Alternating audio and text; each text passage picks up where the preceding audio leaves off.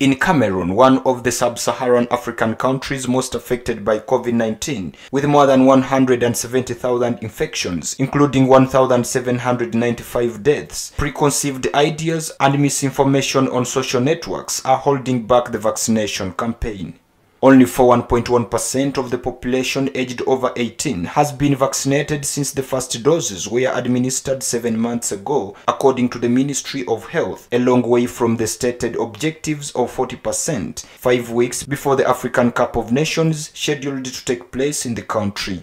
Faced with the reluctance of Cameroonians, the government has launched a double vaccination campaign, one of five days from November 17th 21st, targeting the entire population, and another of one month from November 10th to December 10th for the civil servants.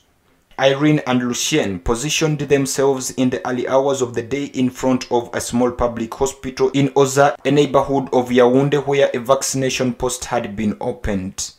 Their deployment in the middle of the street on a busy road leading to the airport aims to arouse the interest of passers-by.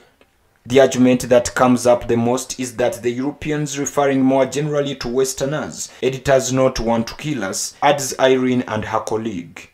David Messi, an agent of the expanded program on immunization, a government initiative, explained to the media that the reluctance of the population is the result of disinformation through social media.